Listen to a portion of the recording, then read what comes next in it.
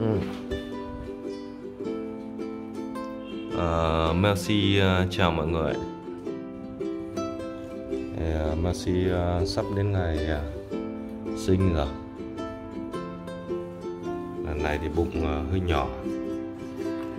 Không biết là sẽ được mấy đứa. Si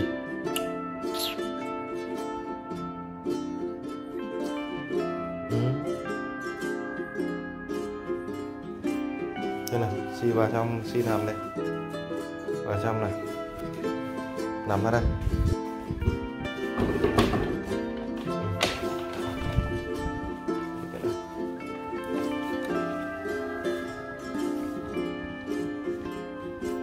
Nghiêng này.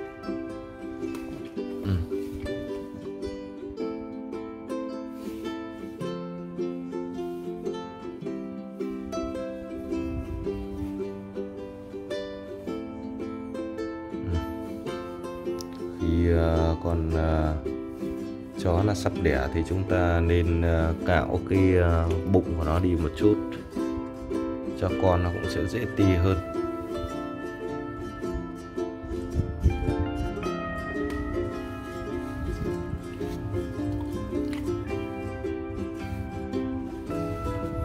Đây. Đây là cái uh, ổ để cho con uh, chó nó nằm đẻ không cần phải quá to. Như này là vừa.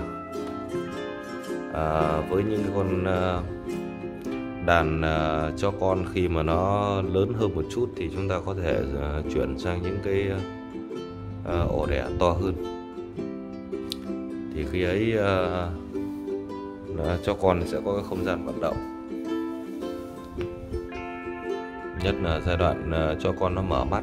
Còn nếu mà khi mà con chó nó đẻ thì chỉ cần cái kích thước cỡ như này thế là vừa rồi.